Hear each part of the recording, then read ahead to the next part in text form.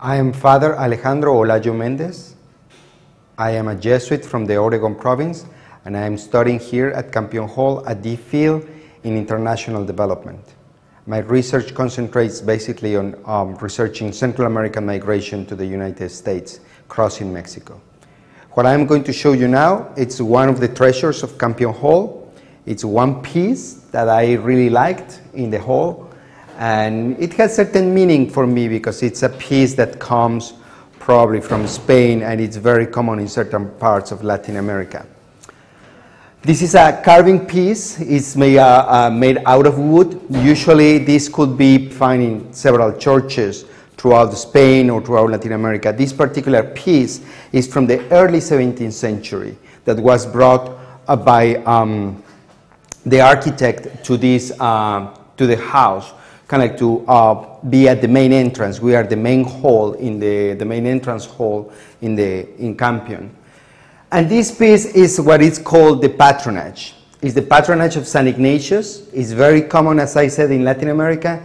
And the patronage means that everybody who is under the cape of this saint, this saint is St. Ignatius, they will be under the protection of, um, of St. Ignatius.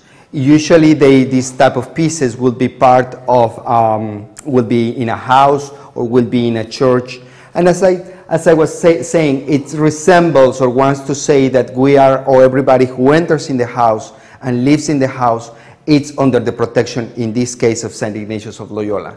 It's meaningful to me in some way because all the faces that you see here are, were usually faces of people who were living at the house at that, at that time. So we are talking that it's concrete people who are real people who are under the patronage, under the protection of the saints. I do believe that in some way I have experienced the same care here at Campion Hall. It, for me, it's interesting to do uh, my research in an environment that helps me to, to feel secure, to feel um, supported. And in some ways, not only the protection of St. Ignatius, but it's how my Jesuit brothers or the Jesuits here in the hall have take care of me in everyday life. And in some way, that's why I feel protected. I mean, that is in some way the meaning that I find in this, in this piece.